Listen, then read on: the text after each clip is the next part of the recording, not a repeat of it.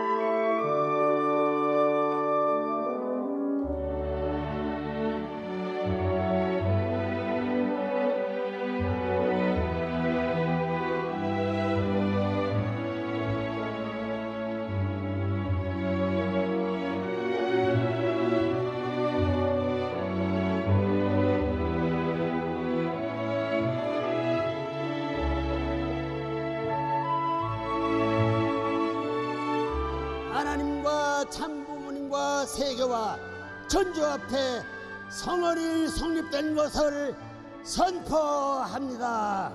아멘.